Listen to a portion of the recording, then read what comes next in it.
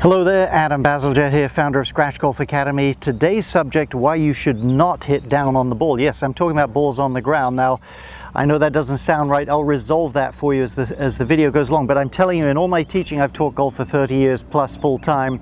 This this notion of what to do in terms of hitting down on the ball shows me that more people have a bad conception of it and your conceptions affect how you swing. So we'll clear it out. We'll look at four variables, two that make you hit down more, two that take some of it out, how to get the proper mixture.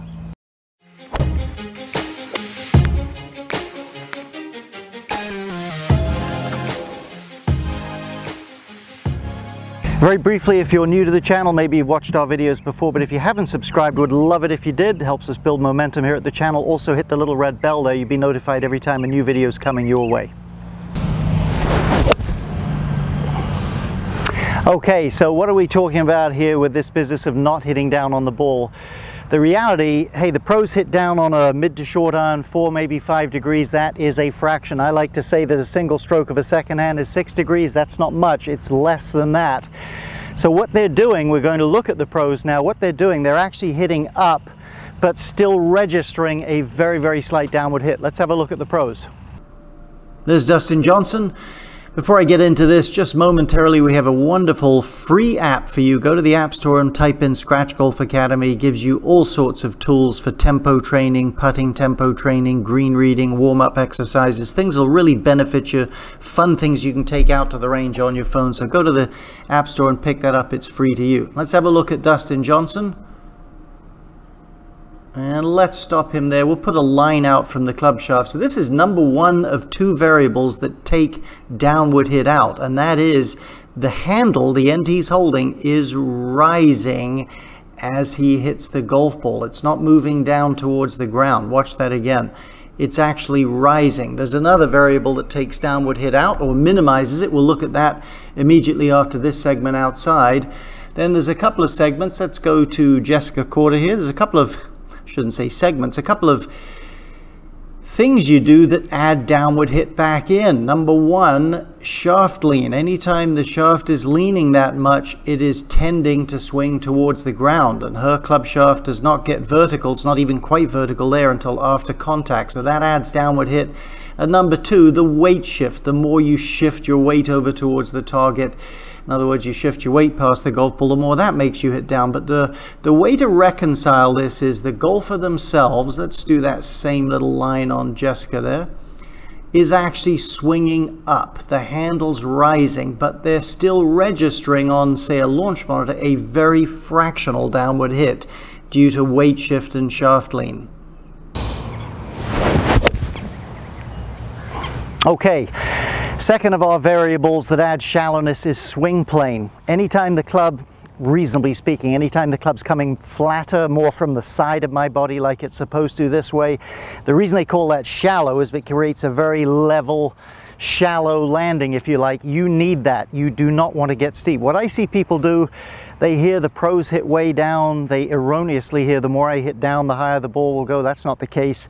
So their first instinct is I've got to hit down almost always steepens the swing. Steep is out here in front of you, it crashes way too much down. First off, the club's not designed to do that. Secondly, you're either going to crash the club in the ground and hit one fat and heavy, or you're going to have to compensate and bail out of the shot, none of which you want. So shallow plane, big, big key. Let's get started with some drills. Okay, first of our two drills, this one encompasses several things we're trying to get done. Short iron, I've got an 8 iron, could be 9 or wedge or something like that. Hip high, roughly, with hands going back, hands on the forward swing, maybe a little bit more tummy high, lower chest, something like that. Here's the checkpoints you're looking for. When you go through, you want to feel several things. You want to feel your tail squeezed up underneath you so that your weight is clearly on that front foot. Second thing, this lead arm wants to feel high and extended. You'll actually feel that shoulder a little bit higher and correspondingly or opposite to that, you want to feel the wrist is slightly arched downwards.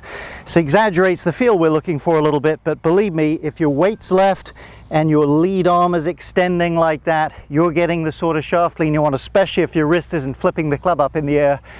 You start to get this feeling for some rise through impact along with the other things we're looking for. So let's hit a little shot again, roughly hip high. That's the sort of look I'm looking for. Really a feeling of high and extended here. Club feeling down, I can feel that squeeze under there. Don't make the mistake of hitting one and getting so absorbed in the outcome of the shot, which doesn't really matter anyway.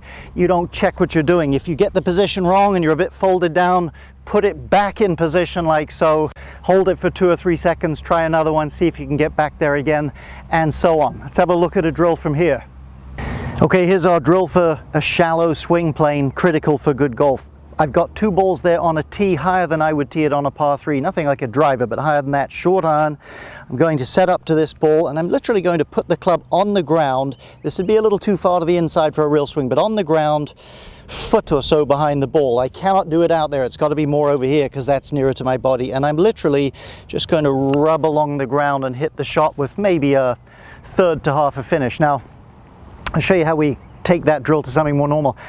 The key with drills is to find some distinctions, find something different. Don't always be locked in trying to do something dead neutral or do it right, so to speak. Find distinctions, then you can make those distinctions more narrow as you practice and work on it. So if I know how to do that, hey, guess what? If I have a shot on an upslope and the ball's sitting on the very top of some spongy grass, I would love to mix in a little bit of this shallowness and pick the ball a little too much. In other words, ball sitting down in thick rough, I want a little bit the opposite and hit more down. So you need to keep your feel in the game. Don't always be trying to associate every drill with exactly neutral. Okay, so I've swept the ball off the tee there. The next one, instead of brushing in, little baby swing near the green, so I've got motion this time. Same sort of an idea. Again, for really good short iron play, that would be a little bit too low to high and out, but gain skill with these drills, have some fun with it. Hope this video is going to help you dial in the proper amount of hitting down on the ball. Well, I appreciate you watching the video. Hope that helps clear up some thoughts in your mind, gives you some things to work on. Very important subject. Best of luck with your golf.